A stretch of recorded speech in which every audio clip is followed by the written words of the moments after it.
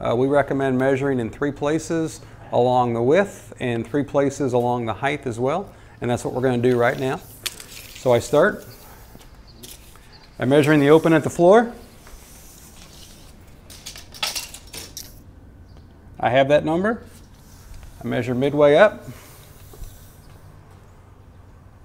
I take that measurement and then I measure at the top.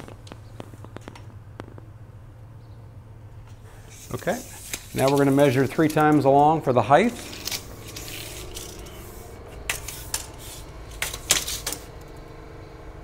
Eighty-five. Eighty-five.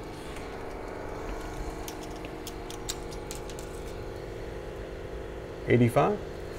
Okay, of the six measurements that you have, you want to go ahead and take the smaller of the three width measurements and of the three height measurements.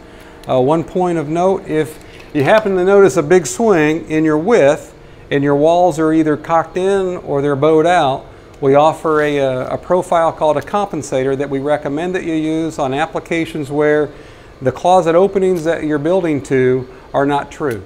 Uh, this one happens to be very square. We do not have the compensators with us. Uh, but in the event you're working on an older home where the, uh, the walls are not straight, we do recommend that part.